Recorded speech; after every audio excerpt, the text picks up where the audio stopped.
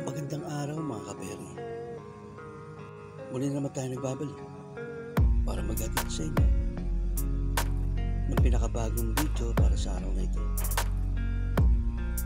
Huwag kalimutan mag-like at mag-subscribe sa ating channel at i-click ang notification bell para lagi kayo updated sa mga